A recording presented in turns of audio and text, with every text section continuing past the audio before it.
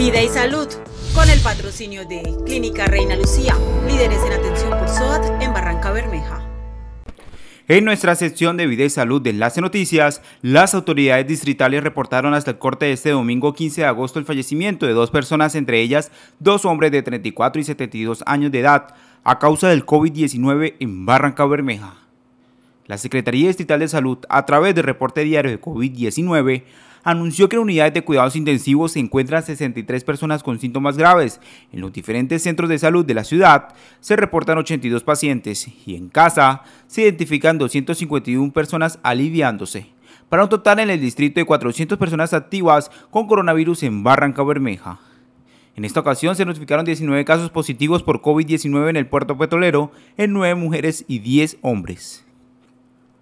Las autoridades de salud hacen el llamado a la ciudadanía de no bajar la guardia continuando con la aplicación de las medidas de bioseguridad, autocuidado y distanciamiento físico. Recuerde, el virus no se ha ido y permanece entre nosotros. Vida y salud, con el patrocinio de Clínica Reina Lucía, líderes en atención por SOAT.